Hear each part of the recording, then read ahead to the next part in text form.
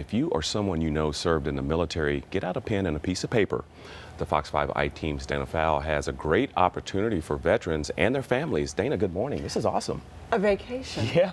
A free vacation. Does that get anybody's attention? Listen, for those of you who haven't been to Tybee Island, it's just a five hour drive down south towards Savannah. It's just off the coast.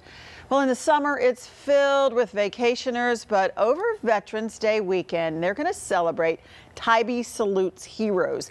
The community is going to host 100, 100 active and former military personnel and their families. And get this, lodging in some of these locations, well, it's going to be on the house, donated, free.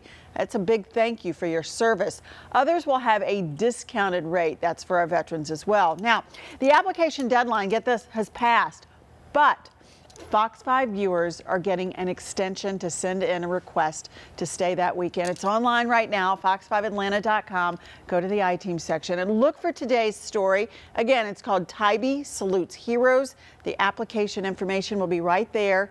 And here's a look at what's happening that weekend. This is November 11 through 13. On Friday, you get there, you get a welcome bag. It's filled with coupons, discounts, gifts. Saturday's a packed day, 1 o'clock. There's a parade honoring veterans, followed by a special ceremony over at Memorial Park.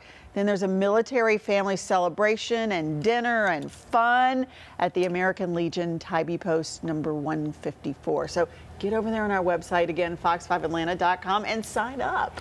You know, I always say that we don't do enough in this country for our veterans or the people who serve, the men and women. And this is just a, a wonderful terrific. idea. Unbelievable. It's I mean, terrific. get It- out there and take advantage of that. You know, our veterans are volunteers. Uh-huh. Unlike many places in the world, they're volunteers. So go get yourself Yes. some R&R. Absolutely. Thanks for letting them know Uh-huh. that. All right, Dana, thank you.